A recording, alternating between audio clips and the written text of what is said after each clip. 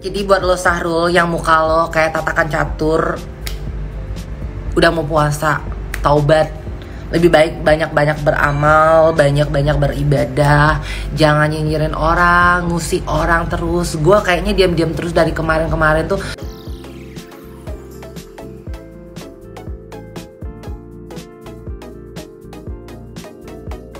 Lu sentil terus sampai kayak lu kayak nggak punya kebahagiaan dalam kehidupan lo gitu loh ya gue tahu sih lu emang dajal di dunia nyata gitu kan tapi setidaknya ya lu bisa lah. Yang katanya lu paling paham agama setidaknya lu paham lah ya sudah mau puasa gitu kan untuk bertaubat gitu kan untuk beribadah. Aduh gimana sih lu katanya paham agama tapi potong kenti jadi war war war boleh musik orang boleh apa pun boleh. Lu belajar agama dari mana?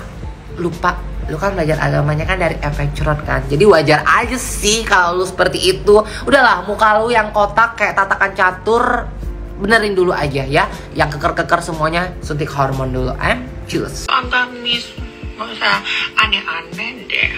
Harusnya Wegom itu introspeksi, ya kan bapaknya mati karena dia jadi jong. fokus gitu loh kalau misalnya lagi bahas Ternyata loh dia sendiri lagi bahas aku bahas aku "Ah, gitu jangan bahas. karena kelakuan dia sendiri. Dan itu dia sendiri yang ngomong bukan mami lo yang ngomong.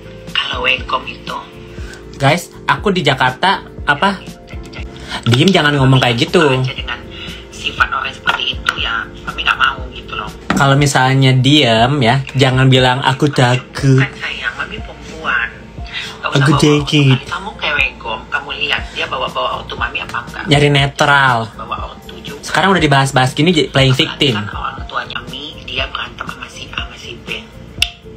Tolong digaris bawahin, kamu itu udah berantem sama si Niki, lalu DM saya. Nah itu, itu harus digaris bawahin. betul kalau Niki mah gue emang Eh, aku yang ngajak-ngajak ya. tapi kalau sama Melody sama Gitu. um, GB Vesta gara-gara dia Transfernya wajar lah dia transfer, aku kasih akun Instagram, itu kan akun Instagramnya Mami, bayar dong 20 juta, ya kan? yang ini akunnya 25 juta aku bayar main bongkar-bongkar